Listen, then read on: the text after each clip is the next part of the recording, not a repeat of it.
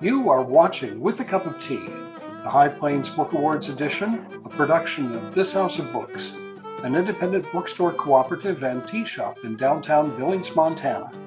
Now, here's our show. Welcome to This House of Books. Uh, we have with us today uh, High Plains Book Fest finalist Trevor Jones, who has a, a terrific children's story uh, called Major, a Soldier Dog. So uh, we'll talk about the book in a minute, but in the meantime, Trevor, why don't we uh, just ask about you? Tell us about yourself. All right. I'm the director and CEO of History Nebraska, which is the Nebraska State Historical Society. So we are pretty much your one stop shop for all things Nebraska history. So we've got historic sites across the state, and we're the state archives, the state museum. We do a historic marker program. Um, we do historic preservation, we do historic archaeology. So pretty much anything you could think about if you care. If anything historic has happened in Nebraska, we probably have something related to it in our collections. Holy cow! Well, that's, that's amazing. um, and and here you are, um, the author of a children's book about a, a a dog. Why don't you tell us a little bit about the book? Sure. I mean, uh, Major Soldier Dogs started because one of the historic sites for History Nebraska is Fort Robinson in the western part of the state, and this was a um, it was a Plains uh, Indian War fort. It was um, you know home of a couple regiments of Buffalo Soldiers. It was the last remount station for the U.S. Cav, uh, and during World War II, it was a um, center of dog training um, for the War Dog program. And uh, I got interested in this story. And what happened in World War II was when the war started, they suddenly decided that they, they needed dogs. They wanted dogs to patrol military bases. They wanted dogs to go out on patrols with soldiers. They wanted to they wanted to see if they could detect landmines. But the one fundamental problem is that um, the army had no dogs. They had not a single dog. And so the way they solved this problem was they asked the American people to donate their pets, which sounds crazy, but that's what people actually did by the thousands. And the the most important war, war dog training center was in Western Nebraska at Fort Robinson. And um, so this was such a fascinating story. I wanted to be able to tell it, and I wanted to tell it um, not in sort of your straight sort of history way, history narrative. I thought this could make a great children's book. It could make a great children's story. And so I started poking around in our archives and I found this um, letter from this guy uh, who had donated his dog in 1943 and his name was Sid. And he talked about his dog Major and how traumatic it was to put that dog in a crate and give it up to this program. And I was like, well, that's, that's a good story. So um, I, through the wonder of the internet, I traced, I was like, I wonder if this guy's still around because he had written to us in the 90s and uh, he had moved several times, but I tracked him down through the internet, made a couple cold calls, found the right guy.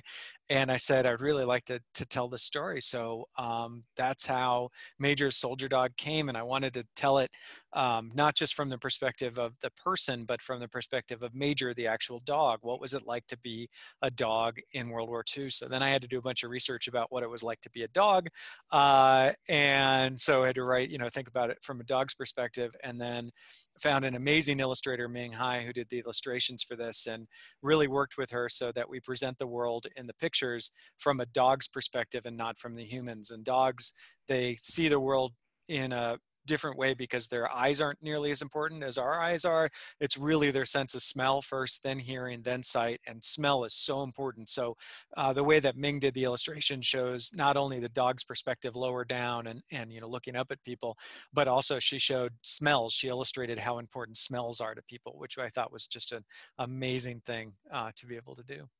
Well, it's a beautiful book, and and the the story itself, I think, really frames an amazing question. It's a, I mean, it really frames a question about uh, patriotism and, uh, you know, the idea that a child would be willing to give up a dog for the country. You know, it's it's a pretty powerful question there.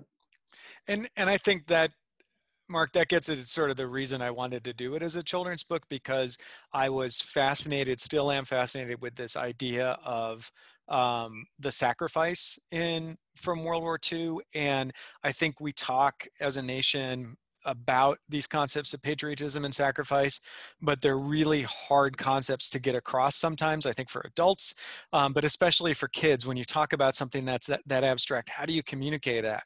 But when you start saying, if you frame it as, would you give up your pet to help your country, to help your neighborhood, to help your community, that frames that question in a way that everybody can get to because we love if you ever have been a pet owner it doesn't matter what kind of pet uh, it, it, could be a dog it could be a cat it could be parakeet doesn't matter.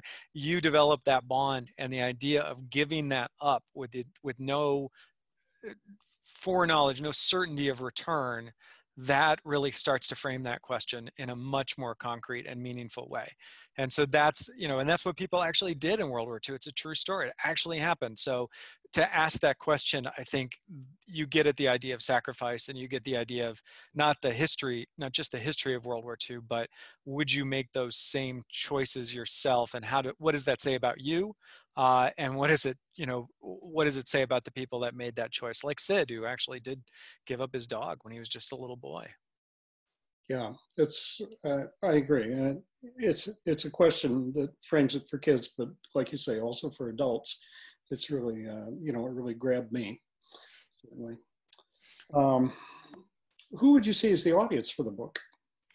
Well, I, I mean, I really wrote it for, you know, kids that were like six to 10 but uh, one of the things that we've really found is that it's resonating with audiences of different ages it's got you can find the dog on every page. There's a dog at least one dog many times multiple dogs and so little kids love to point out the dogs and uh, certainly i think adults um, have really enjoyed the story and the the historical aspects of it. It has an afterwards afterward at the end of it where you get to see the pictures of actual Sid and actual Major the dog who was donated and the you know the cast of characters you get to see what they actually look like because they were real people. And so I think people have have very much enjoyed that in a more in a broader way than I necessarily anticipated or um, but that's been but that's been really fun actually. So a well-told story I think works for everybody, doesn't it? I hope so. Well, um, one of the things I I want to do is I, I want to encourage people to um, look at uh, a brown bag lecture that you did there at the uh, at, at History Nebraska, and uh, it's available on YouTube. And I'm going to put the link in at the end of this. So thank uh, you. Yeah, I think it's uh, very worth uh, very worthwhile presentation. I really enjoyed it. Well, I was important for me that the book be historically accurate. That that um, even though you know it's really is a it's a work of fiction simply because we didn't know where Major actually went in World War II. Records weren't kept on that, so we sent him to Italy, which is where a lot of dogs went. So that that's the part where that I can't verify in historical fact. But the rest of it, I wanted it to be accurate. And and working with our amazing illustrator Ming, um, I know she thought I was kind of crazy because I sent her hundreds of pictures of what soldiers wore in World War II and what Fort Robinson looked like at various times. And there's a scene in the book where where the war's over and everybody gets to go home and um, they're you know you can see the boots of everybody because they're they're happy and they're dancing and you're looking from the dog's perspective. And and when Ming did the first draft of the boots um, she sent it back and it looked great because she's an amazing artist but I I could see those boots were really issue boots from 1943 and not issue boots from 1945 uh, and this was this was May of 45 so I was like well they need to be like this boot these boots. And so I sent her pictures of boots from our collection that soldiers had worn and at the end of the war and and so she illustrated those to look that way. And nobody cares about but me, uh, quite honestly. But I felt like it's important that if you're doing a, a historical uh, work, that people could rely on the fact that you got those details right, like that that there was there was something behind that, and that was really important for me uh, to put that into the the images and and also you know the text to make sure that we were representing things as it happened or as close as we could get to, and and so that was that was the big big joy. Well, thank you so much for joining us. This is just a, a stunning book and a really gripping story. So um, I, I, I would recommend it to anybody. It was it was fun, and if you need uh, additional details, if anybody wants to see what Fort Robinson really looked like in in World War II, if they go to um, the website for History Nebraska, history.nebraska.gov, you can just put in Fort Robinson or War Dog program into the search bar, and you'll see pictures of what it looked like. And I think we've got some pictures of what it looks like today because it's still a place you can visit. It's an absolutely gorgeous place in Nebraska, um, completely stunning, and you can go stay in a Adobe's uh, Adobe officers quarters from the 1880s, and I don't know where else in the world you can do that. It's it's just a magical place. Well, thanks so much. Well, thank you, Mark. Appreciate it. This program has been produced by this House of Books in collaboration with the High Plains Book Awards. The Book Awards were established to recognize regional authors and literary work that examines life on the High Plains. Nominations will be accepted starting in January 2021 on the website highplainsbookawards.org.